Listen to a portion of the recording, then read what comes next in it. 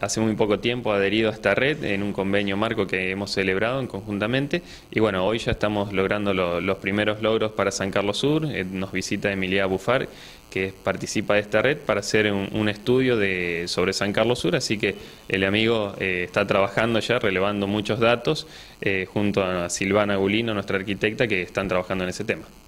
En esta oportunidad, ¿qué es lo que se va a realizar aquí en el despacho comunal? Bueno, hoy se va a hacer una presentación de, este estudio, digamos, de lo que se va a estudiar precisamente como a los medios públicamente y a los demás municipios que hemos invitado, tanto San Carlos Norte como San Carlos Centro, como para poder eh, por ahí eh, ver si ellos también están interesados en hacerlo. En algún momento se puede plantear también eh, esta inquietud. Bueno, vamos a dialogar con Emiliano, que es francés y que está aquí de visita y que va a ser el encargado de realizar un poco este estudio. ¿Qué tal? Muy buenos días. Buenos días. Perfecto, decíamos castellano, ¿no? Porque nosotros acá francés cero, pero por suerte hablas muy bien el idioma. Sí, sí, sí, pero hace cinco meses solamente. ¿Cinco meses que estás en Argentina o ya estuviste antes? Que estoy en Argentina, sí. Trabajo hace cuatro meses en la red argentina de municipios frente al cambio climático. ¿Cuál va a ser tu tarea? Eh, ahora estoy trabajando en un inventario de gases de efecto invernadero por la red argentina de municipios frente al cambio climático, que es un espacio de los municipios donde hay 53 municipios de todo el país ahora, y es un espacio donde se socializan eh, acciones y se uh, igualmente um, um, Um, acciones y experiencias perdón, para impulsar después políticas públicas locales frente al cambio climático.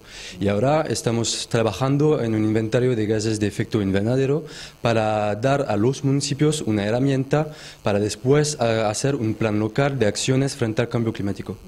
¿Cuánto tiempo vas a estar aquí en la localidad realizando este trabajo? Ahora estoy para dos días en San Carlos Sur para empezar el inventario, encontrar los actores para, para hablar con el municipio también y después voy a trabajar, eh, es un trabajo de varias semanas para tener todos los datos y después voy a volver de nuevo para continuar eh, el inventario y encontrar de nuevo nuevas eh, instituciones también. Imagino que la exposición de hoy también tiene que ver con tratar de eh, más allá de realizarlo aquí en San Carlos Centro, después poder extender el trabajo a las localidades vecinas, como San Carlos eh, Centro y San Carlos Norte. ¿no? Exacto, la red argentina de municipios frente al cambio climático es la primera red de América del Sur frente al cambio climático, la primera red de municipios. Entonces es, un, es una, una herramienta, una red importante.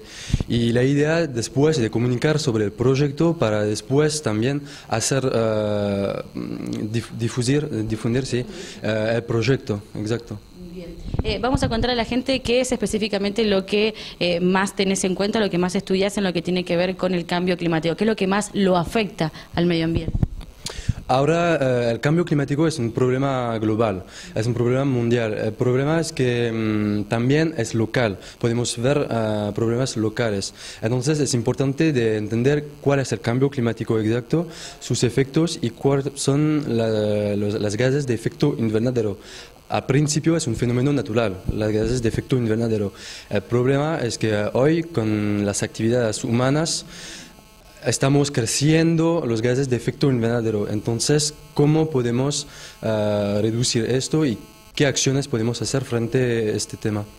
Muchísimas gracias. De nada, gracias a vos. Gracias. Bueno, para finalizar el Colombo, sabemos que la comuna ha sido pionera en lo que es toda la provincia de Santa Fe, con en principio comenzar con el primer barrio solar, ¿no? Esto es como un puntapié también para lo que tiene que ver con el cuidado del medio ambiente. Sí, el barrio solar seguramente fue la primera semilla que, implantamos en nuestra localidad, como para seguir tratando esta temática y ver eh, de qué forma ampliamos esto al resto de la comunidad y con estas otras eh, cuestiones que tienen que ver con el medio ambiente que también nos preocupan, ¿no?